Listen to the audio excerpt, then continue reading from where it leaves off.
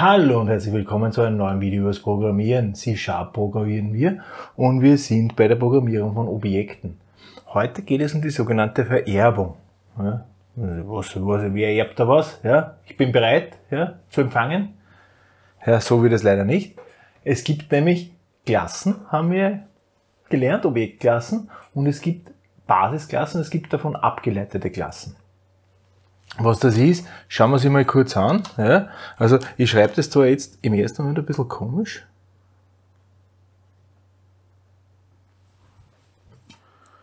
Aber es hat einen Sinn später. Ja. Also ich mache eine Klassendefinition und diese Klasse nenne ich Basisklasse.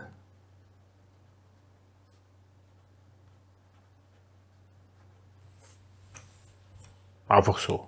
Ja. Ohne bestimmten Grund. Ja soll ja nur ein Beispiel sein. Diese Basisklasse kann irgendwelche Eigenschaften und irgendwelche Methoden haben. Und wir haben ist letzten, im letzten Video schon gesehen, uh, da muss ich was davor schreiben. Es gibt verschiedenste, äh, verschiedenste Arten. Eine davon ist Private. Ja? Zum Beispiel Private int. Ja? Und da schreibe, da schreibe Eigenschaft 1.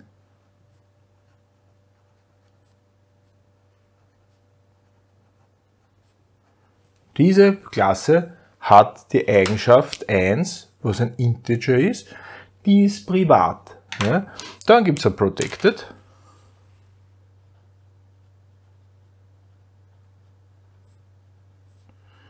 Und zum Beispiel ein Pool. Kann jeder beliebige Datentyp sein. Ja? Eigenschaft 2.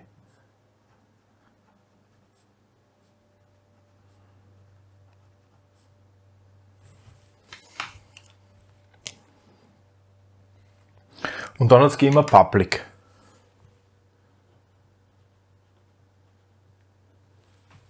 Was mache ich da? Float. Eigenschaft 3.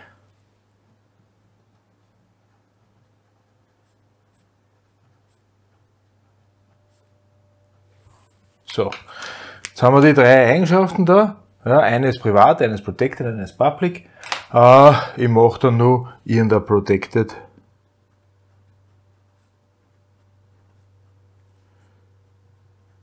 Int Methode 1.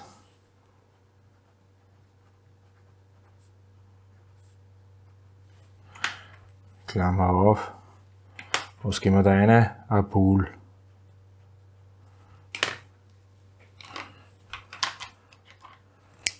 Pool. Übergabe Wert 1. Ist auch wurscht. Ja. Programmieren wir irgendwas? Passt. Ja. Und irgendwo, pack, pack, pack, irgendwo wird die Klasse wieder geschlossen. Soweit so gut. Haben wir eine Klasse definiert. Wenn wir jetzt von dieser Klasse eine Klasse ableiten wollen, ja, schreiben wir das so. Abgeleitete Klasse Glas abgeleitet.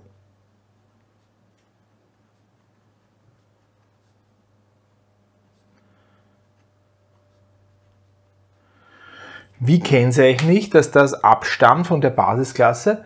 Ich mache dann Doppelpunkt Pucki, Pucki, ja, und schreibe Basisklasse.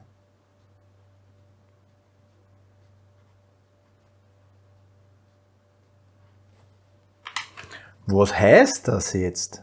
Geschwungene Klammer auf. Was heißt das jetzt für unsere abgeleitete Klasse? Irgendwo ist dann geschwungene Klammer zu auch wieder. Sie übernimmt Eigenschaften und Methoden der Basisklasse. Okay? Welche Eigenschaften und Methoden übernimmt sie? Nur die private nicht. Ja? Zack. X wird nicht übernommen.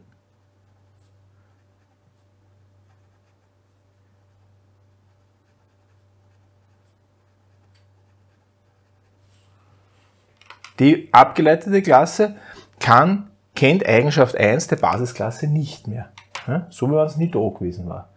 Ist irgendwo ja, begraben unter vielen, vielen Schichten Ja, so über einer einen Schatz vergrabt, irgendein Vorgänger von, von, von uns hat irgendwo einen Schatz vergraben und keiner weiß mehr, wo er liegt. Ja, das gehört dem Vorgänger. Ende. Ja. Und keiner soll sich daran laben. Protected, ja, Protected Eigenschaften, da ist nämlich jetzt der Unterschied zwischen privat und protected. Protected Eigenschaften werden an abgeleitete Klassen weitergegeben. Ja? Also die check, check, check, protected wird übernommen. Public sowieso. Ja? Public sind auch protected, können von, von der Basisklasse und von abgeleiteten Klassen aufgerufen werden und die Public können ja von überall, das haben wir das letzte Mal gesehen, ja, können von überall, von außen, von jedem anderen Objekt aufgerufen werden. Abgeleitete Klasse, ja, also die erbt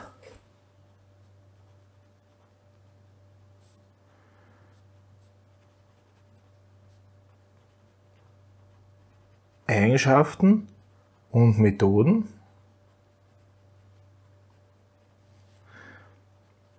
der Basisklasse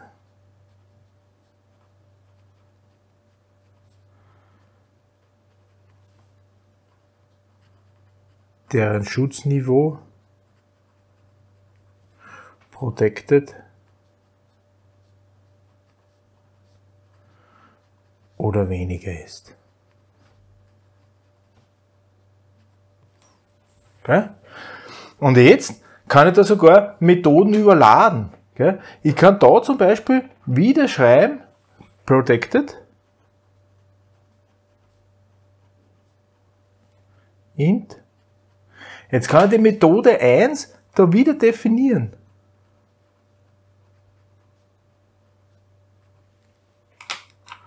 Jetzt ist ganz komisch, ne?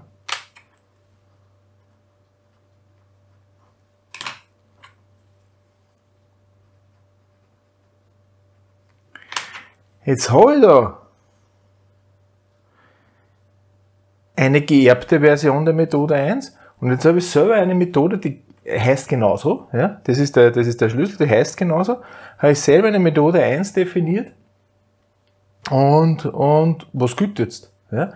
In der abgeleiteten Klasse gilt das, in der Basisklasse gilt das. Also wenn ich eine Instanz der Basisklasse habe, habe ich die Methode 1, wenn ich eine Instanz der abgeleiteten Klasse habe, habe ich diese Methode 1. Das heißt, Methoden können überladen werden. Ja? Das heißt überladen.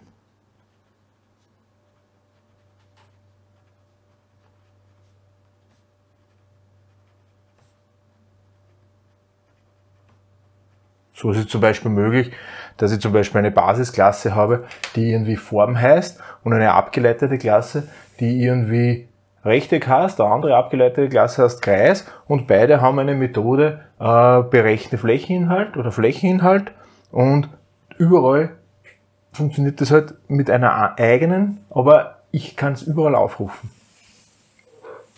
Jetzt verleitet es natürlich so Basisklassen und abgeleitete Klassen und so weiter zu bilden, ja, und manchmal, manchmal möchte man gar nicht, dass die Basisklasse die hat eigentlich ursprünglich gar keinen Sinn. Die summiert nur die Gemeinsamkeiten aller abgeleiteten Klassen, aber selbst ist eigentlich nur ein, ein, ein unlogisches, ein, ein, ein sinnloses, ein abstraktes Gebilde, ja, was man eigentlich nicht braucht.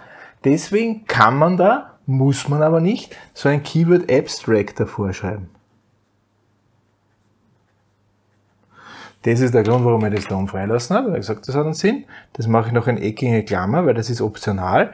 Abstrakte Basisklassen können nicht instanzi instanziert werden. Also ich kann keine, wenn der Abstract steht, ja, kann ich vor der Basisklasse keine Instanz anlegen. Das heißt, ich brauche eine abgeleitete Klasse, das kennzeichnet eine Klasse, die eigentlich nur da ist, damit sie was vererbt. Ja? Sugar Daddy Class. So auf die Art.